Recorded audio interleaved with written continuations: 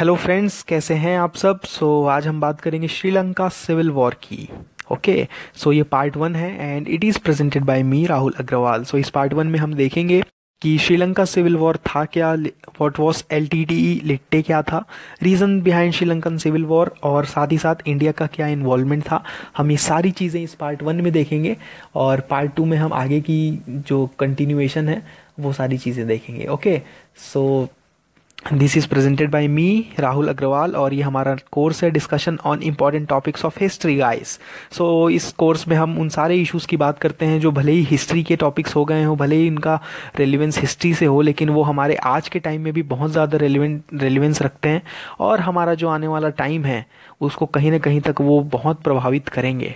सो so, ये जो जो भी इश्यूज़ मैं उठाता हूँ यहाँ पे बेसिकली ये हमारे कंटेम्प्रेरी वर्ल्ड को जो हमारा आज का टाइम है और आने वाला टाइम है उसको बहुत हद तक प्रभावित करने वाले हैं ओके सो आप इसको बहुत फोकस होकर ध्यान से पढ़िएगा और देखिएगा। सो so, हम स्टार्ट करते हैं basically this is me and in case you want to read more then you can read it from year okay so जैसा कि होता है समरी लास्ट में बताई जाती है बट मैं स्टार्ट ही समरी से करता हूँ। तो बेसिकली श्रीलंकन सिविल वॉर क्या था? सिविल वॉर का मतलब क्या होता है? हिंदी में सिविल वॉर को कहा जाता है गृह युद्ध। जब अपने ही देश में अपने ही लोगों के बीच लड़ाई होती है तो उसको बेसिकली सिविल वॉर कहा जाता है। तो ये लड़ाई हुई थी लिट्टे और श्रीलंकन गवर्नमेंट के बीच में। ये एक आर्म्ड कन्फ्लिक्ट थी और इसकी शुरुआत हुई थी ट्वेंटी थर्ड जुलाई 1983 सो ये डेट क्रूड डेट याद रखना ज़रूरी नहीं है। बस आप 1983 याद रखिए ताकि आप एक आइडिया लग सके कि ये कितने साल पुरानी बात है। ओके सो so, लिट्टे को तमिल टाइगर्स भी कहा जाता है। और मेन मुद्दा ये था कि जो लिट्टे वाले थे वो चाहते थे कि एक तमिल स्टेट एक इंडिपेंडेंट तमिल स्टेट क्रिएट किया जाए श्रीलंकन आइलैंड के नॉर्थ और ईस्ट में। सो so, ये श्रीलंका का मैप है। तो ये इंडिया है। ये पाक स्ट्रेट से यहाँ पे श्रीलंका डिफर होता है। मतलब जुड़ा हुआ है एक तरह से। सो ये नॉर्दर्न पार्ट जो जाफना का है और ये जो ईस्टर्न पार्ट है। सो इस पार्ट में लेट्टे वाले जो हैं एक इंडिपेंडेंट तमिल स्टेट क्रिएट करना चाहते थे। अब इसके रीज़न क्या थे और बाकी क्या वजह थी ये सारी सारी चीज़ें मैं आपको आगे बताऊँगा। सो so, जो स्टेट बनाना चाहते थे उसको तमिल ईलम नाम देना चाहते थे। और ये वॉर फाइनली 2009 में ख़त्म हुआ आज से आठ साल पहले। जब श्रीलंकन मिलिट्री ने लिट्टे को हरा दिया। तो वॉर स्टार्ट हुआ लिट्टे और श्रीलंकन गवर्नमेंट के बीच में बिकॉज़ जो लिट्टे वाले थे, वो इंडिपेंडेंट स्टेट क्रिएट करना चाहते थे तमिल का। और ऑब्वियस सी बात है, श्रीलंकन गवर्नमेंट ऐसा नहीं होना देना, होने देना चाहती थी। लड़ाई हुई, गृह युद्ध हुआ, बहुत सारे लोग मारे गए, बहुत नुकसान हुआ और फाइनली लिट्टे वाले हार गए और वॉर ख़त्म हुआ। ठीक? ये समरी थी। अब हम देखेंगे कि, कि कैसे शुरुआत हुआ। सो so, श्रीलंका को पहले सिलोन से सिलोन नाम से जाना जाता था और इंडिया की तरह श्रीलंका में भी ब्रिटेन का राज था सर एंड मैम ओके? और जैसे इंडिया को 1947 में इंडिपेंडेंस मिली थी श्रीलंका को 4 फेब 1948 में इंडिपेंडेंस मिली थी लेकिन वो 1972 तक डोमिनियन था। डोमिनियन मतलब कि डोमिनियन और रिपब्लिक में भी डिफरेंस होता है। सो so, डोमिनियन मतलब कि वो इंटायरली सोवरेन नहीं था वो अभी भी ब्रिटिश क्राउन के अंदर ही था। बट फाइनली वो रिपब्लिक बना 22 में 1972 को। सो so, रिपब्लिक मतलब कि जैसे इंडिया रिपब्लिक है। सो so, रिपब्लिक उसे कहा जाता है जिसका हेड ऑफ़ द स्टेट जिस कंट्री का हेड है वो लोगों के द्वारा चुना जाए। सो so, हमारा हेड एक तरह से प्रधानमंत्री प्रेसिडेंट प्रणब मुखर्जी हैं। सो so, उनको चुना है किसने? एमपी और एमएलए ने। और एमपी और एमएलए को किसने चुना है? हमने। So so, indirectly Pranab Mukherjee को चुना है लोगों ने। सो रिपब्लिक उसे ही कहा जाता है और श्रीलंका 1972 में रिपब्लिक बना और फाइनली सीलोन का नाम चेंज करके श्रीलंका हुआ 1972 में। ठीक? तो इस कन्फ्लिक्ट की शुरुआत बेसिकली हुई थी जब कॉलोनियल गवर्नमेंट चल रही थी श्रीलंका में और बताया जाता है कि हाँ एक चीज़ मैं आपको यहाँ और बता दूँ कि श्रीलंका में मेजोरिटी है वो सिन्हालीज हैं और माइनॉरिटी तमिल्स हैं। सो ये मेजोरिटी और माइनॉरिटी की ही बेसिकली लड़ाई है और सिन्हालीज का जो मेजोरिटी रिलीजन है वो है बुद्धिस्ट सो बौद्ध धर्म मान, बहुत मान्यता है श्रीलंका में। तो मतलब बताया जाता है कि पास्ट में सिन्हालीस और तमिल्स के बीच में कोई कन्फ्लिक्ट नहीं था। उसकी शुरुआत हुई थी कम्युनल रिप्रेजेंटेशन से। सो कॉलोनियल गवर्नमेंट जो यूके की ब्रिटेन की गवर्नमेंट थी, उसका तो मतलब काम ही ये था डिवाइड एंड रूल वही उन्होंने इंडिया में भी किया हिंदू मुस्लिम को लड़ा के और अलग पाकिस्तान बन ही गया फाइनली तो वही यहाँ पे इन्होंने किया था सिन्हालीस और तमिल्स के बीच में कम्युनल रिप्रेजेंटेशन लाके. मतलब कि कम्युनल रिप्रेजेंटेशन मतलब कि सिन्हालीस हैं तो आ, उनकी अलग कॉन्स्टिट्यूएंसी होगी वहाँ पे सिर्फ़ सिन्हालीस ही वोट देंगे सिन्हालीस कैंडिडेट को. और तमिल्स ही वोट देंगे अपने तमिल कैंडिडेट को. सो उन्होंने वहाँ पर एक तरह से डिवाइड पैदा किया. यहाँ से शुरुआत हुई थी इस कॉन्फ्लिक्ट की। अब 1948 में फोर फेब को श्रीलंका आज़ाद हो गया था। अब आज़ाद होने के बाद सारे रूल्स वगैरह अब श्रीलंका की खुद की गवर्नमेंट बनाएगी। तो पहला एक्ट आया Ceylon citizenship act 1948 so so, इस पर्टिकुलर सिटीजनशिप एक्ट ने जितने भी इंडियन तमिल्स हैं उनको सिटीजनशिप देने से मना कर दिया और उनको स्टेटलेस कर दिया। बेसिकली इंडियन तमिल्स के वोटिंग राइट्स भी छीन लिए उनकी पॉलिटिकल फ्रीडम छीन ली और अब वो जाने लगे इंडिया ठीक है, लेकिन इंडिया भी कितने ही रिफ्यूजी एक्सेप्ट करता। सो बेसिकली बहुत सारे स्टेटलेस हो गए। अब उनको समझ में नहीं आ रहा था कि किया क्या जाए। अब ये तो चलो ठीक है अब उसके बाद एक और एक्ट आया जिसका नाम है सिन्हाला ओनली एक्ट ऑफ़ 1956 अब इस एक्ट ने क्या किया? इस एक्ट ने जो सिन्हालीज जो मेजोरिटी है, उनकी जो सिन्हाला लैंग्वेज है, उसको ऑफिशियल लैंग्वेज बना दिया कंट्री का। ठीक है? अब हर गवर्नमेंट जॉब्स में और हर जगह सिन्हाला लैंग्वेज ही बोले जाने लगी और जिसको सिन्हालीस नहीं आती थी, समझ लीजिए, उसको वो गया। एक तरह से उसको कोई जॉब नहीं दी जाती थी और अगर कोई जॉब कोई किसी इंपॉर्टेंट पोजीशन में था तमिल तमिल माइनॉरिटी का तो उसको हटा दिया जाता था। ये बोल के कि तुम सिन्हालीस में फ्लुएंट नहीं हो ओके सो आप देख सकते हैं कि ये सिटीजनशिप एक्ट सिलोन का सिन्हाला ओनली एक्ट ऑफ़ 1956 तो ये सारी चीज़ें क्या कर रही हैं? ये सारी चीज़ें तमिलियन जो मेजोर माइनॉरिटी थी श्रीलंका की, उसको बहुत ही ज़्यादा, वो डिससेटिस्फाई हो गए और उनको पूरी तरह दबाने की कोशिश की जा रही है मेजोरिटी सिन्हाला गवर्नमेंट द्वारा। ओके सो इस एक्ट के द्वारा तमिल जो हैं, जितने भी इंपॉर्टेंट पोजीशन में थे, वो सारी अपनी जॉब्स वगैरह सब खोने लग गए और हर जगह सिन्हालीस ही चलने लगी और जिनको सिन्हालीस आती नहीं थी, ठीक है? सो सिन्हालीस को ही ऑफिशियल लैंग्वेज कर दिया गया था। तो यहाँ से शुरुआत हुई माइनॉरिटी और मेजोरिटी के बीच का जो डिससेटिस्फेक्शन है डिसकंटेंट है, उसकी शुरुआत हुई इन सब एक्ट से। और यहीं से सिविल वॉर की एक तरह से बुनियाद रखी जा चुकी थी, ठीक है?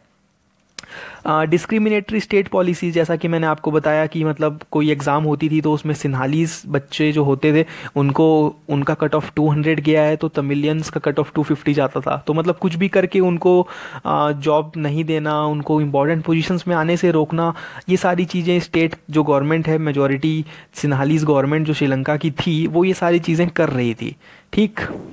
एंटी तमिल वायलेंस एक तरह से पूरा जो सेंटिमेंट ही था, वो एंटी तमिल था। और साथ ही साथ तमिलियंस का राइट्स के लिए स्ट्रगल ठीक ये सारी चीज़ें जो हैं एक तरह से तमिलियंस को मिलिटेंट बना दिया इन सारी चीज़ों ने और वो फिर रिवोल्ट में आ गए।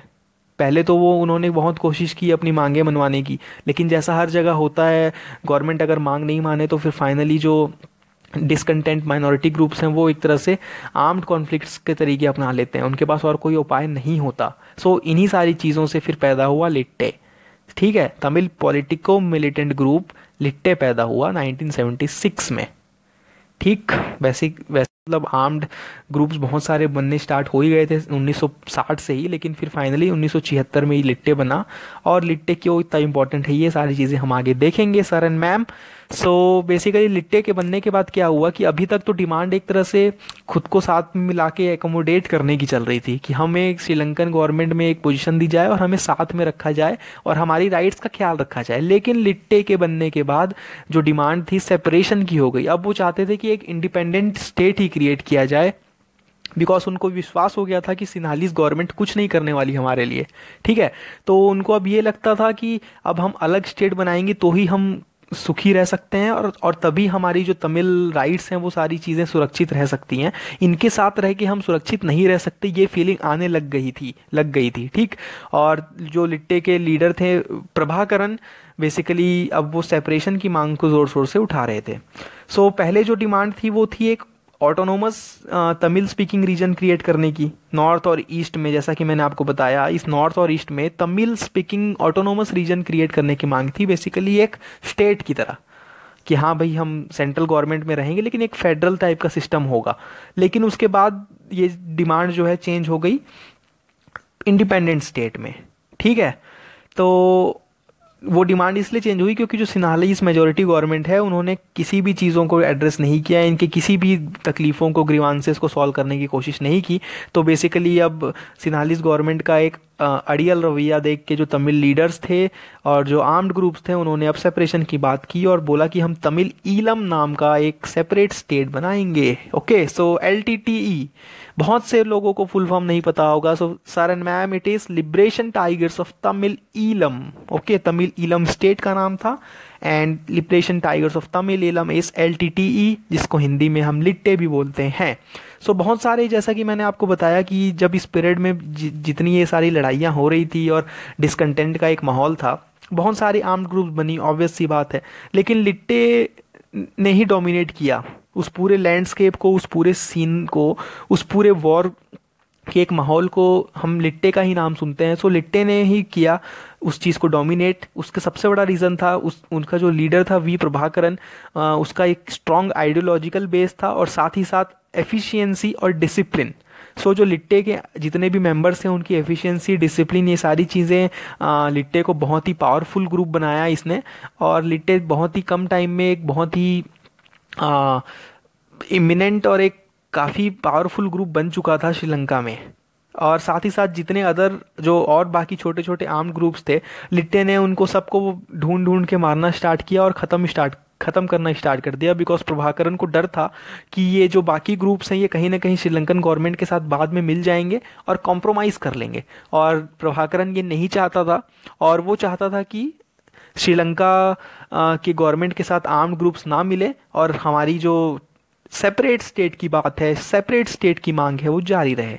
ठीक है, अब ये लिट्टे ही था राजीव गांधी की जो हत्या हुई थी, उसके पीछे लिट्टे ही था बिकॉज़ वो नहीं चाहते थे राजीव गांधी पावर में आए। ये सारी चीज़ें, ये क्या थी, मैं आपको आगे बताऊँगा।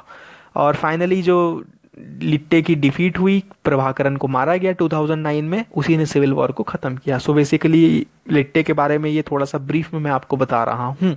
अब इंडिया का क्या इन्वॉल्वमेंट और इंडिया का क्या एंगल था? तो सीधी सी बात है इंडिया के नीचे श्रीलंका है साउथ में, और इंडिया के बगल में इतनी लड़ाई हो रही है तो इंडिया को कहीं ना कहीं ये चीज़ें इफ़ेक्ट करती हैं और साथ ही साथ मामला तमिल राइट्स का था। तो इंडिया के तमिलनाडु से बेसिकली श्रीलंका में जितने भी इंडियन तमिल्स हैं, जो प्लांटेशन वर्कर्स की तरह, जो रूल में गए थे। सो कहीं ना कहीं इंडिया से तमिलनाडु से एक तमिल सेंटीमेंट बना ही है और तमिलियन राइट्स को लेके हम भावुक हो ही जाते हैं। और साथ ही साथ इंडिया अपने आप को एक रीजनल पावर की तरह इस्टेब्लिश करना चाहता था। तो अगर ऐसा करना है तो फिर अपने बगल के कंट्री में कुछ ऐसी गृह युद्ध की स्थिति है तो फिर तो आपको रिस्पॉन्ड करना ही पड़ेगा। तो इसीलिए फिर इंडिया ने साथ रिस्पॉन्ड किया।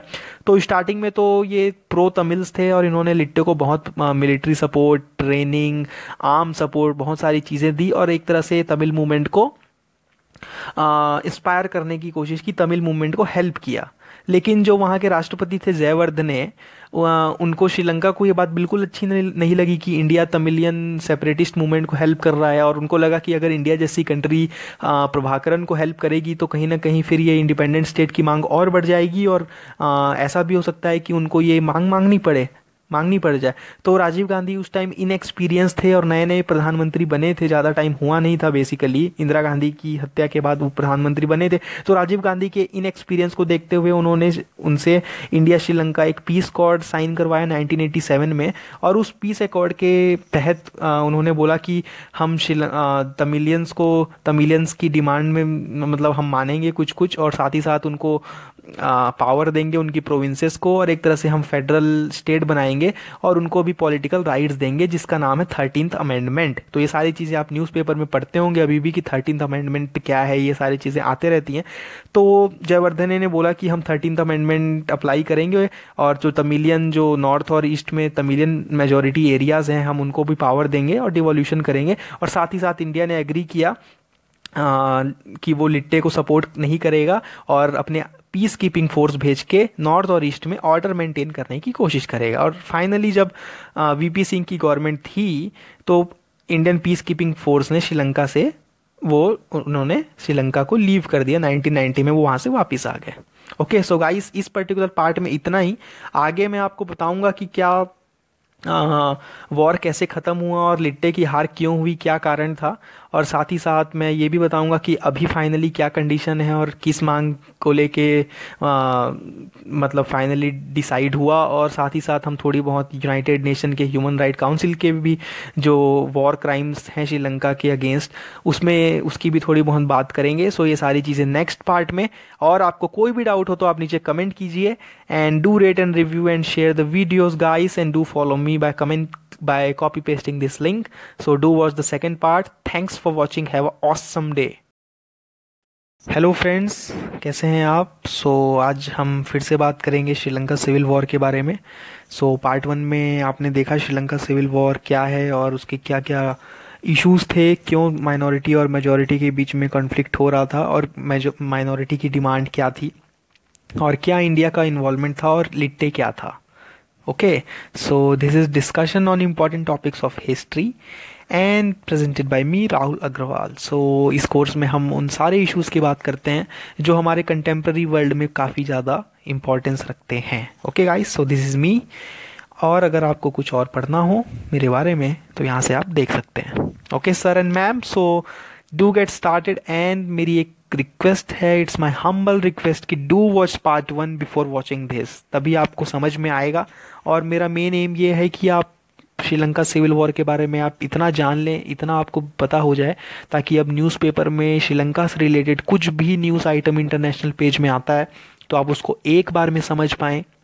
और आज का जो एडिटोरियल था श्रीलंका इशू के ऊपर वो भी आप बड़ी ही आसानी से कॉम्प्रिहेंड कर पाए और आपको पता चले कि ये क्या इशू है, किस चीज़ के बारे में बात की जा रही है। और मेरा यही एम है ये, इस कोर्स को बनाने का कि आपको उन हर टॉपिक से एक बार बस आपको अवगत करा दिया जाए, आपको एक उसकी नॉलेज दी, दे दी जाए ब्रीफ में, ताकि आप उसके बारे में जान सकें और यही हमारा काम है जनरल आइडिया लेना। स्पेशलाइज स्टडी पीएचडी तो मैं हर टॉपिक के ऊपर दिन दिन भर बोल सकता हूँ। कोई फ़ायदा नहीं है उस चीज़ का ओके सो so, जैसा कि मैंने बताया था समरी में पहले बता देता हूँ सिविल वॉर बेसिकली लिट्टे और श्रीलंकन गवर्नमेंट के बीच में एक लड़ाई थी आर्म्ड कॉन्फ्लिक्ट थी 1983 में स्टार्ट हुआ था और जो लिट्टे तमिल टाइगर्स थे वो एक तमिल इंडिपेंडेंट तमिल जो भी मेजोरिटी के एरियाज़ थे नॉर्थ और ईस्ट श्रीलंकन आइलैंड में, सो वो वहाँ पे एक इंडिपेंडेंट तमिल स्टेट बनाना चाहते थे। और बेसिकली सीधी सीधी सी बात है कि श्रीलंकन गवर्नमेंट ऐसा नहीं होने देना चाहती थी।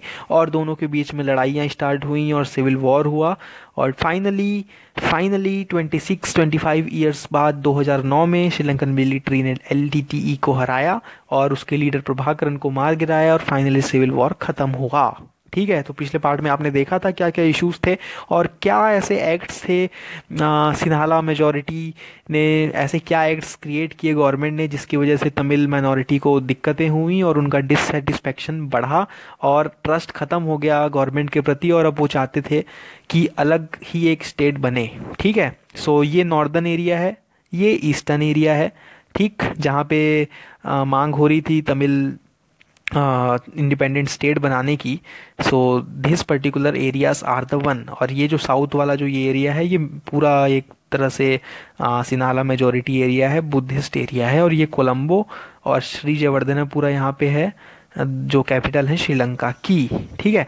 सो अब सीधी सी बात है कि लड़ाई हो रही है वॉर सिविल वॉर वॉर हो रहा है तो बेसिकली पीस प्रोसेस की भी कोशिश की जाती है दोनों पक्षों को बुला के बात करके ताकि कोई एक बीच का सॉल्यूशन निकाल लिया जाए और लड़ाई रोक दी जाए। तो इसमें इस केस में भी आ, पीस प्रोसेस हुए और बेसिकली नाइन इलेवन के अटैक्स के बाद नाइन इलेवन के अटैक के बाद क्या हुआ था कि जितने भी नॉन स्टेट एक्टर्स टाइप के जो ग्रुप होते थे सेपरेटिस्ट ग्रुप बेसिकली उनको एक आ, मतलब एक एप्रीहेंशन से उनको देखा जाने लगा और ऐसा सोचा जाने लगा कि ये खतरा है देश के लिए और एक तरह से आतंकवादी संगठन के नज़रों से उनको देखा जाने लगा।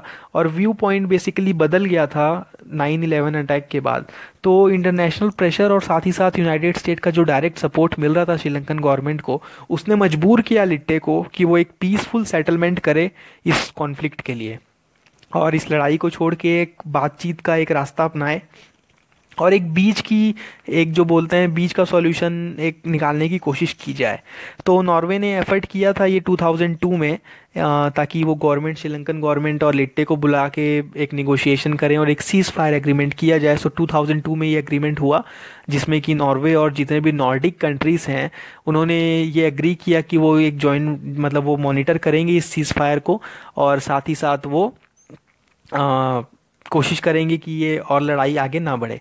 ठीक है तो ये स्टार्ट तो हुआ मटेरियलाइज भी हुआ और गवर्नमेंट ने जितने भी रिबल जो नॉर्थ और ईस्ट वाले जो लिट्टे के हेल्ड एरियाज़ थे उनमें रिलैक्सेशन दी और साथ ही साथ जो आ, एक दूसरे के जो प्रिजनर ऑफ़ वॉर्स थे आ, उनको भी एक्सचेंज किया रिलीज़ किया और साथ ही साथ लिट्टे ने भी आ, उस, उस इंडिपेंडेंट स्टेट की डिमांड को छोड़ दी और एक तरह से फेडरल सॉल्यूशन की बात वो उन्होंने मान लिया। सो so बेसिकली ऐसा लग रहा था कि लड़ाई ख़त्म हो गई है और एक सॉल्यूशन पर आ गए लेकिन 2003 में ही और साथ ही साथ 2004 ये 14 हो गया। सॉरी फॉर दैट आप करेक्ट कर लेना। 2004 में जो सुनामी आई थी तो उसके बाद जितनी भी एड्स मिली इंटरनेशनल जो मदद मिली श्रीलंकन गवर्नमेंट को तो डिफरेंसेस आ गए कि तमिल एरिया में उस सहायता को कैसे बांटा जाए। ये सारी चीज़ें और साथ ही साथ लिट्टे को ये लगने लगा कि श्रीलंकन गवर्नमेंट ने जो इस पर्टिकुलर सीज़ फायर में जितनी भी चीज़ों के लिए वो अग्री किए हैं हाँ तमिलियंस को देने के लिए, वो नहीं मान रहे हैं और वो आखिरकार वो धोखा दे रहे हैं हमें। तो इन सारी चीज़ों को देखते हुए लिट्टे ने सीज फायर की टॉक्स को फाइनली सस्पेंड कर दिया और उसको कैंसिल कर दिया। और उसके बाद फिर नॉर्वे ने भी इंटरमीडियरी बनने से मना कर दिया और ये पूरा का पूरा प्रोसेस पीस प्रोसेस जो है एकदम ख़त्म हो गया। समझ लीजिए आप ऐसा कि पूरा आ, मिट्टी में मिल गया और ये फिर से लड़ाई जो है जस की तस कंडीशन वैसी की वैसी हो गई। तो ये पीस प्रोसेस सीज फायर करने की कोशिश की गई थी लिट्टे और श्रीलंकन गवर्नमेंट के बीच में बट ऐसा नहीं हो पाया बिकॉज़ श्रीलंकन गवर्नमेंट की कहीं ना कहीं ये गलती थी कि लिट्टे को ऐसा लगा कि श्रीलंकन गवर्नमेंट उनकी जो भी सहायता, जो मांग उनकी पूरी करने की बात कर रही है, वो वो पूरा नहीं कर पा रही है एक्चुअल में और थ्योरी में जो लिखा है वो प्रैक्टिकली ग्राउंड में नहीं हो रहा। तो फिर उनको लगा कि हमें ये मांग, अपनी जो इंडिपेंडेंट स्टेट की मांग है वो जारी रखनी चाहिए और इस पीस प्रोसेस को ख़त्म करना चाहिए। तो ये पीस प्रोसेस का बेसिकली मूवमेंट था। और फिर उसके बाद लड़ाइयाँ हुई और दोनों ही तरफ़ से मार धाड़ और गोलीबारी सारी चीज़ें होने लग गई।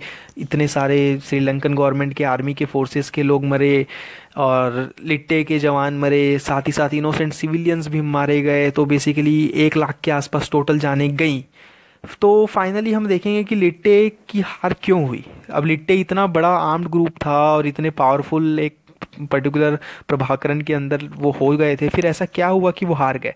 सो so, जैसा कि मैंने आपको बताया नाइन इलेवन अटैक के बाद जितने भी नॉन स्टेट एक्टर्स थे उनको एक टेररिस्ट की निगाह से देखा जाने लगा। तो फिर उसके बाद यूएस भी हेल्प करने आया और श्रीलंकन गवर्नमेंट की और इंडिया और चाइना का भी हेल्प मिल रहा था श्रीलंकन गवर्नमेंट को, जैसा कि मैंने आपको बताया था, जो पीस अकॉर्ड इंडिया के और श्रीलंका के बीच में साइन हुआ था तो फिर फाइनली उसके बाद इंडिया श्रीलंकन गवर्नमेंट की एक तरह से हेल्प करने लगा उस पर्टिकुलर पीस प्रोसेस को करने के लिए मेंटेन करने के लिए। तो इंटरनेशनल सपोर्ट और राजपक्षा गवर्नमेंट जो वहाँ पे उस टाइम इनकम्बेंट गवर्नमेंट थी 2009 के आसपास तो उन्होंने भी लिट्टे को बैन कर दिया और साथ ही साथ उस, उसको एक टेररिस्ट ग्रुप की तरफ़ ब्रांड किया हर एक इंटरनेशनल कंट्री में और 32 ऐसे देश हैं जहाँ पे उसको बैन करके एक आतंकवादी ग्रुप का दर्जा दिलवा दिया। तो उससे जो लिट्टे को बाहर से सहायता मिलती थी वो भी बंद हो गई और लिट्टे पूरी तरह से वीक हो गया। ओके? और पूरा एक, जिसको बोलते हैं, एक all out war Sri Lankan government ने लिट्टे के अगेंस्ट छेड़ दिया और आखिरकार 2009 में हरा ही दिया। सो लिट्टे भी पूरी तरह वीक हो गया था और जो उसके ईस्टर्न में जो लिट्टे का एक फैक्शन था, करुणा फैक्शन जिसको बोलते हैं तो कहीं ना कहीं उसका इंडियन गवर्नमेंट से इंडियन जो research and analysis intelligence wing हमारे इंडिया की रॉ है तो उससे कनेक्शन होने लगा तो वो डिफेक्ट कर गया एल से और ये सारी चीज़ें पूरी तरह से लिट्टे को खोखला कर चुकी थी और उसको बहुत ही वीक कर चुकी थी और साथ ही साथ श्रीलंकन गवर्नमेंट का अटैक चल ही रहा था। सो ये दो चार फैक्टर्स थे जिन्होंने लिट्टे को कमज़ोर बनाया और फिर फाइनली लिट्टे की हार हुई और सिविल वॉर ख़त्म हुआ। Okay so human right violations और ब्रुटैलिटी में हम देखेंगे कि यूएन डाटा शो करता है कि कम से कम एक लाख के आसपास मरे, जिसमें इंडियन सोल्जर्स भी थे सिविलियंस भी थे आर्मी गवर्नमेंट आर्मी जो श्रीलंकन गवर्नमेंट है, उसके आर्मी के भी थे और लिट्टे के भी मेंबर्स थे। और total economic cost 200 dollar bill US dollar 200 billion का था। तो बहुत सारा खर्चा हो गया और जैसा श्रीलंका एक पुअर कंट्री है तो श्रीलंका इतना अफोर्ड नहीं कर सकता था बट इस सिविल वॉर की वजह से इतना खर्चा हुआ बेसिकली तो फिर उसके बाद श्रीलंकन गवर्नमेंट के ऊपर भी बहुत एलिगेशन लगे कि उन्होंने लड़ाई में बहुत ही एक्सेस वॉर क्राइम्स किए हैं और इनोसेंट को मारा है। तो उसके बाद कोशिश ये की जाने लगी एक United Nation human right council द्वारा कि इसकी एक इंटरनेशनल जाँच की जाए और श्रीलंकन गवर्नमेंट में जो भी आ, दोषी पाया जाता है उसको सज़ा दी जाए ताकि जो अभी तमिलियन रह रहे हैं उनको कोई ट्रस्ट इशू ना रहे अपनी गवर्नमेंट को लेके और वो आसानी से शांति से रह सके और अपनी आगे की ज़िंदगी गुजार सकें। लेकिन श्रीलंकन गवर्नमेंट ने उन सारे एलिगेशंस को खारिज किया और उन्होंने बोला कि हमने लिट्टे के अगेंस्ट ये सब किया बिकॉज़ लिट्टे एक टेररिस्ट ऑर्गेनाइजेशन था और कोई इनोसेंट सिविलियंस को नहीं मारा है और वॉर क्राइम नहीं किया है। लेकिन करेंटली अभी सिचुएशन अगर हम देखें तो श्रीलंका डोमेस्टिक एक तरह से जो जो डोमेस्टिक जाँच होती है उसके लिए तैयार हो चुका है और साथ ही साथ जो तमिल्स हैं उनकी ग्रीवांसेस को रिड्रेस करने के लिए भी वो रेडी हो चुका है। ये रिड्रेसल होगा। आप इसको चेक कर लीजिएगा, ठीक कर लीजिएगा। ओके गाइस सो so, अभी हम अगर प्रेजेंट सिचुएशन देखेंगे तो लिट्टे की डिफीट के बाद श्रीलंकन गवर्नमेंट जो थर्टीन अमेंडमेंट था जैसा कि मैंने आपको बताया था थर्टीन अमेंडमेंट के तहत श्रीलंकन गवर्नमेंट को जो तमिल मेजोरिटी एरियाज़ हैं उनमें पावर डिवोल्यूट करना था बेसिकली उनको पावर देना था और आ, उनको सारी पॉलिटिकल फ्रीडम्स देनी थी और उनको पूरी तरह से अपनी कंट्री में एक तरह से उनको मिलाना था और उनको अपना पार्ट बनाना था। सो so, उन्होंने अनाउंस किया कि अब वो थर्टीन अमेंडमेंट को जल्दी से जल्दी लागू करेंगे और अपना जो नया कॉन्स्टिट्यूशन है उसमें भी तमिलियंस को आ, सारे राइट्स देंगे और उनको अपना पूरा एक तरह से पार्ट बनाएँगे। तो ये सारी चीज़ें होने के बाद फिर फाइनली तमिल्स इस चीज़ को लेके मान गए और एक पॉलिटिकल सॉल्यूशन में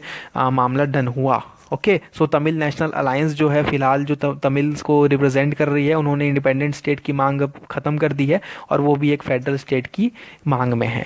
सो so, अगर हम सिविल वॉर इन क्लास देखें तो सबसे पहले जो स्टार्ट हुई थी वो कम्युनल एक तरह से रिप्रेजेंटेशन जो कॉलोनियल गवर्नमेंट ने डिवाइड एंड रूल करके किया था नाइनटीन में वहाँ से स्टार्ट हुई थी। फिर उसके बाद सीरॉन गवर्नमेंट का जो सिन्हाला को ऑफिशियल लैंग्वेज क्रिएट करने का डिसीज़न था उसने तमिल माइनॉरिटी को बहुत ज़्यादा एलाइनिएट किया और उनको उनको लगा कि हम दू, दूसरे दर्जे के लोग हो गए हैं क्योंकि उनको गवर्नमेंट जॉब से और हर इंपॉर्टेंट पोस्ट से हटाए जाने लगा और मेजोरिटी का पूरा राज हो गया था। ठीक है? तो इन सारी चीज़ों से तमिलियंस मेजोरिटी जो माइनॉरिटी जो थी ये भी आप चेक क्लियर कर लीजिएगा ये माइनॉरिटी है। Sorry for this mistake sir and ma'am so ये डिससेटिस्फेक्शन इंक्रीज होने लगा तमिलियंस का। नो नो ये मेजोरिटी ठीक है। ओके ये मेजोरिटी ठीक है। सो ये जो मेजोरिटी सिन्हालीस थे आ, उनकी जितने भी एक्ट्स और पॉलिसीज़ थी उनकी वजह से तमिलियंस का एक तरह से जो जो डिससेटिस्फेक्शन था वो इंक्रीज़ होने लगा। ये फिफ्टीज़ के आसपास की बात है।